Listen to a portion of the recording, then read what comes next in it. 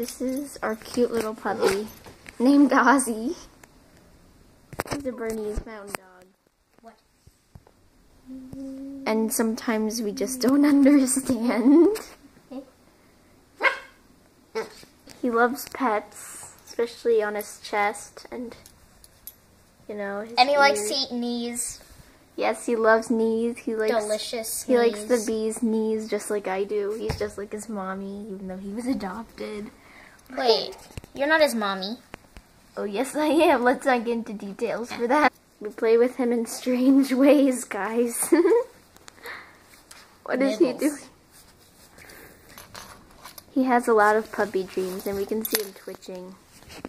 He almost blends in with the floor. he has my shirt. Look what he's done. he's a savage. Whenever we give him hugs, he finds something to chew on. No matter if it's whatever the heck this thing is. See? Look. Uh, uh, Right now, he's uh, eight uh. weeks old. See? He just doesn't even